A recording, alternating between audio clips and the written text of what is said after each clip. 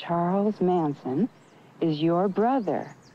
All the elements are present for one of the most sensational murder trials in American history. The puppeteer played us. The world is getting crazy. I remember he slapped me because he wasn't feeling good.